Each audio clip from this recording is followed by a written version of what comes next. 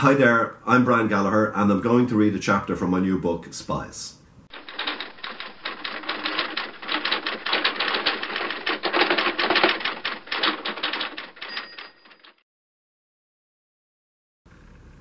Chapter 1 Ryan's Bar, Thurles, County Tipperary. Saturday, September 25th, 1920. Johnny Dunn knew that he was in trouble. He heard the truck screeching to a halt in the street below, and his stomach tightened in fear. But he forced himself not to panic. He'd seen enough black and tan raids to know he couldn't escape out the back door of the pub. The Black and Tans had come to Ireland the previous March to bolster the Royal Irish Constabulary in the War of Independence that had raged for the last two years. The Tans had a frightening reputation for brutality, and Johnny didn't want to fall into their hands.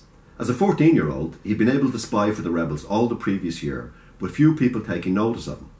Until the previous week, he'd worked in Balbriggan's Mill Hotel, but he'd left town after the Tans had run riot, burning down dozens of homes, shops, and businesses, and killing two civilians. Johnny had been ordered to move to a safe house in Thurles, where he awaited his next mission in Dublin. So much for Ryan's being a safe house, he thought now, as he heard the Tans shouting and screaming as they burst into the pub. Johnny was two floors above them in his bedroom, and he had a little more time before they got to him. Was there somewhere he could hide? There was no point hiding under the bed or in a wardrobe. The Tans were likely to look there. Johnny knew that Mr. Ryan, the pub owner, was an IRA sympathiser, and that there were arms hidden on his farm outside the town. But if they found weapons in the pub here, then anyone present would be interrogated, and Johnny couldn't allow himself to come to the attention of the Tans. He thought frantically now as he heard more shouting and the sound of heavy boots pounding on the stairs. There was an attic above the bathroom across the landing, but the trapdoor into it was high above the floor. Maybe if he climbed onto the rim of the bath, he could open the trapdoor, climb into the attic, and hide there till the Tans left. Unless they searched the attic too, in which case he'd be found hiding, which would look extremely suspicious. Johnny heard the pounding of the boots getting louder and realised that the raiders had reached the front door. He needed to make a decision, and quickly. Despite his fear, he tried to think clearly. With Mr. Ryan hiding weapons on the farm, the chances were that he wouldn't risk also hiding arms here in the pub. The Tans, however, weren't to know that, so they might well search everywhere, including the attic. Better not hide at all, better to brazen it out, thought Johnny. He stepped across the bathroom and flushed the toilet. He left the door open so the sound of the flushing lavatory would be heard, then he quickly made for the stairs and descended. He could hear the Tans in the first floor living room shouting at Mr. Ryan, and two of them faced him as Johnny reached the landing. One Tan aimed a rifle at him, and the other man, who had a Webley pistol, grabbed Johnny and pulled him into the room. Where the hell were you hiding? he demanded. He was a heavily built man, with reddish hair visible under his beret. And to Johnny's surprise, he had a Dublin accent. Most of the Tans were British, but Johnny had heard there were Irishmen in the ranks also, men drawn by the generous wages the mercenary constables were paid. I was in the toilet, answered Johnny, as he heard the sound of bottles being smashed in the bar below. Three more Tans ran up the stairs to the floor that he had just left. Another Tan roughly threw the furniture about the living room, then ran the bayonet of his rifle through the cushions on the sofa.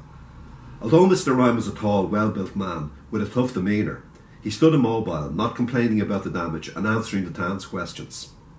His eyes met Johnny's briefly, and he gave the slightest of nods, as if to say things would be all right. What are you doing here? asked the Tan with the rifle, and Johnny thought that his accent placed him from the north of England. I work here, said Johnny. I help in the bar. Live here too? Yes, on the top floor. Right viper's nest of shinners. You a little shinner too? If only you knew, thought Johnny. If only you knew that Michael Collins, the commander of the rebels, has a mission planned for me in Dublin. I know nothing about politics, said Johnny innocently. I'm just doing a job. How come you're doing a job in Thurles? You're not from here, that's a Dublin accent, said the red haired Tan accusingly. Always keep your lies close to the truth. It was what Johnny had been taught when he'd started spying for the rebels. Yes, I'm from Dublin, but my dad died and we needed the money, so Ma got me this job through a cousin. Johnny could hear the Tans taking the place asunder above his head, and he was glad he hadn't hidden in the attic. Mr. Ryan was still being questioned aggressively, but Johnny tried to block it all out and concentrate on his own situation. One slip here, one wrong move, and the game would be up. Where are you from in Dublin? asked Red Hair. We live on the north side, answered Johnny, trying to sound as if he were cooperative, while still trying to be as vague as possible. Where on the north side? Phibsborough. What street? Johnny hadn't expected the Tans to be this painstaking with their questions. His heart was thumping, but he barely hesitated, and came up with a road whose name had stuck in his memory. Monk Place. What number? Twenty-two, said Johnny, not knowing how many houses were in the street. Was that the kind of thing the police checked in the aftermaths of raids? He'd no idea. But if they found that his information was false, they would assume he'd lied for a reason. Then they would come looking for him. The Tan wrote down the details that Johnny had given him. Did the man believe him? He seemed to. Then again, he could be playing cat and mouse. Johnny breathed deeply, forcing himself to appear calm. Meanwhile, the Tan who had been bayoneting the cushions pulled the drawers out of a press, scattering the contents onto the floor, but without finding anything incriminating. All the time, Johnny and Mr. Ryan were held at gunpoint. Then eventually, the other Tans trooped down the stairs, reporting that the attic and upper floors were clear.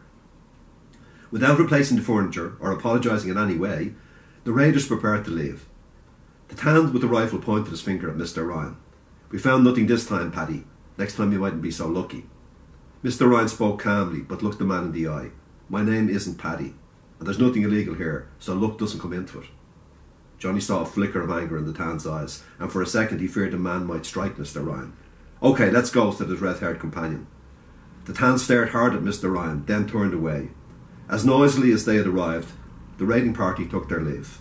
Johnny breathed out, then turned to Mr. Ryan. What time is the next train to Dublin? What? I need to be honest, said Johnny. They're not expecting you yet. There's a timetable for these things. The Tans don't follow our timetable. They'd be back to arrest me if they checked that address. They'd hardly check an address a kid gave them in a raid. I can't take that chance. Look, I know we're an underground army, Johnny, but we're still an army, and your orders were to come to Dublin when instructed. Yeah, and my orders were to stay in a safe house, but this house isn't safe anymore. I'm no coward, Mr. Ryan. I've taken risk for the cause, but I'm not hanging around to be picked up by the Tans. So what time is the next train to Dublin? Ryan seemed to consider this, then spoke resignedly. OK, there's a train at half three. I'll tell Dublin you'll be on it. Thank you. And Mr. Ryan? Yes. Can I make a suggestion? Mr. Ryan gave a crooked grin. Something tells me you will anyway. Johnny gave him a wry smile in return. If the Tans do come back, why don't you say you caught me with my hand in the till and sacked me? You don't know where I went, but you think I have relations in, would we say Cork? Cork is a fine spot. Cork it is so. I'll start packing. Johnny turned away and made for the door, still feeling excited. Part of it was from the raid and having outwitted the Tans, but part of it was thinking about what was to come. He would be working for his hero, Michael Collins, the most wanted man in Ireland. He took the stairs two at a time, eager to be on his way and to start his new mission.